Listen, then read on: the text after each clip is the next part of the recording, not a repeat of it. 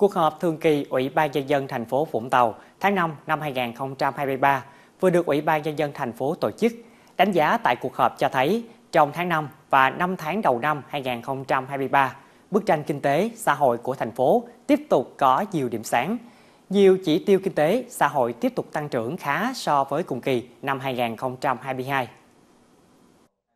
Năm tháng đầu năm 2023, doanh thu dịch vụ lưu trú, ăn uống tại thành phố Vũng Tàu đạt hơn 3.700 tỷ đồng, bằng 43,7% kế hoạch, tăng 28,4% so với cùng kỳ. Giá trị sản xuất ngành công nghiệp đạt hơn 15.600 tỷ đồng, tương đương 42% kế hoạch năm và tăng 9,9% so với cùng kỳ. Thu ngân sách nhà nước đạt hơn 2.000 tỷ đồng, đạt 48,3% dự toán tỉnh giao và bằng 42,3% dự toán thành phố xây dựng. Những tháng đầu năm 2023, công tác an sinh xã hội được thành phố chú trọng, tình hình an ninh chính trị, trật tự an toàn xã hội trên địa bàn thành phố được đảm bảo. Tại cuộc họp thường kỳ Ủy ban nhân dân thành phố Vũng Tàu tháng 5 năm 2023, các đại biểu đã tham luận, đóng góp ý kiến, đề xuất các giải pháp để hoàn thành các chỉ tiêu nhiệm vụ trọng tâm của tháng 6 và những tháng cuối năm.